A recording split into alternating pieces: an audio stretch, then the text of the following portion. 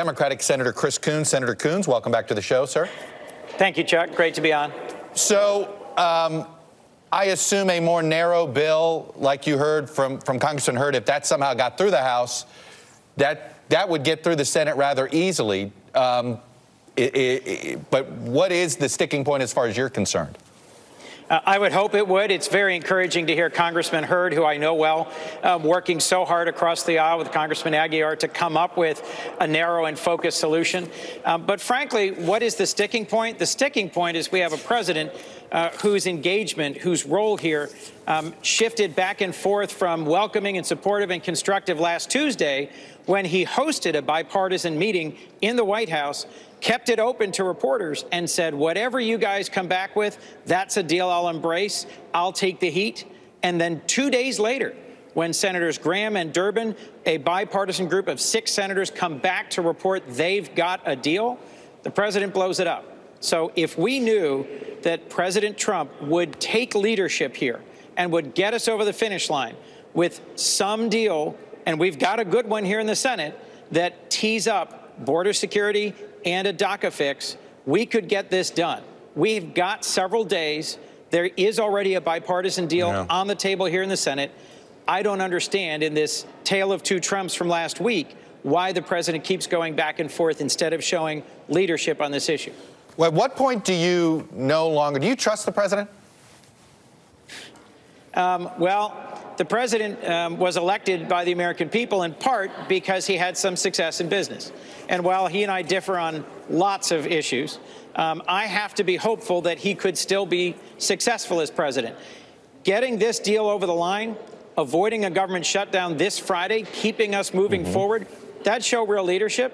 Uh, I believe he's interested in being a successful president. I'm puzzled at the number of times he's done what he did last Thursday um, and end up defeating something that just two days before he so openly encouraged and supported. If you don't get, if there's no movement on DACA this week, will you vote to keep the government open on Friday? Well, we shouldn't get to that point. None of us should be flirting with shutting the government down. But we are months overdue, Chuck, in addressing the children's health insurance program, disaster funding for Puerto Rico, for Florida, for Texas, dealing with the wildfires out west, with community health centers, and with a resolution to DACA. All of us, I think, are struggling to believe that there's going to be a deal here, but we've got several days. It is possible for leadership in the House and Senate and the White House to come to an agreement on an overarching deal, we should be getting that done. We should demonstrate to the world and our country yeah. that we can still get these deals done in the best interest of our nation. You just sounded like a senator who, who did not want to have, who wasn't willing to say, nope, not going to support any government funding bill if DACA hasn't been solved.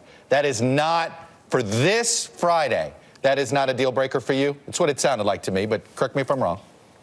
Chuck, we've still got enough time to get this done. And I don't want to give up hope yet that we will get this done. I've been here seven years. I have lived through far too many cliffhangers. And one of the things that makes it harder to get this done is when folks start drawing sharper and sharper lines in the sand. The president had a good bipartisan deal presented you're not to him drawing, last Thursday. You're not ready to draw that line in the sand. No DACA deal, no budget vote from me, Chris Coons.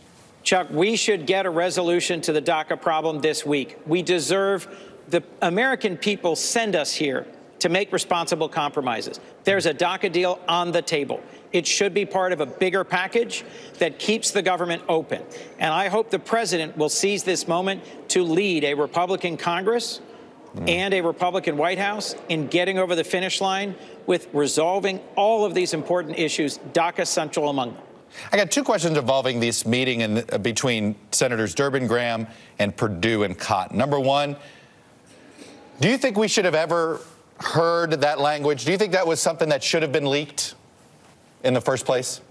You know, it, it is, of course, regrettable that the president swears. But it's not surprising that our president swears. Lots of people swear. I even swear on occasion. What's deeply regrettable is what he was swearing about and what it implied suggesting in the rough and vulgar language he used that there are certain nations from which we don't want people, and there's other nations, mm-hmm. Nordic nations, from which we do want people, led to an inevitable conclusion that what he was saying was racist. and the timing and the context was Right. particularly So unfortunate. you think, it was, you and think it's, it's important that we into learn? fight. It's, it's important think- that this went public. I think when a president is hosting a meeting that important, where Mm-hmm. a bipartisan deal's been presented, and where the motives spoken by the president for breaking the deal are that base, I can understand why certain uh, participants felt it important to be clear about why that deal wasn't Mm-hmm. embraced. Has your view of Senators Cotton and Perdue changed? I think it's really unfortunate that we've gotten into a mud pit of he said, he said, and senators accusing each other of being untruthful. Uh, it was really unconstructive uh, for them to then go on Sunday shows and go out publicly and accuse one senator of not being truthful, and then it turns into parsing about S House or S Hole. Or I mean, this has been a really unconstructive couple of days. Who's being let down here? 800,000 dreamers, hundreds of millions of Americans, our reputation in the world. Um, if I were betting on whether the United States is able to overcome the challenges we face in the world, I'd be betting less in favor of America if I were one of our friends or adversaries around the world after this messy, disappointing incident. My hope is that in the next couple of days, Chuck, we can save this and do a bipartisan deal that gets us moving forward again. All right, Senator Chris Coons, I'm going to leave it there. Uh, Democrat from Delaware, thanks for coming on and sharing your views. I appreciate it. Thank you, Chuck.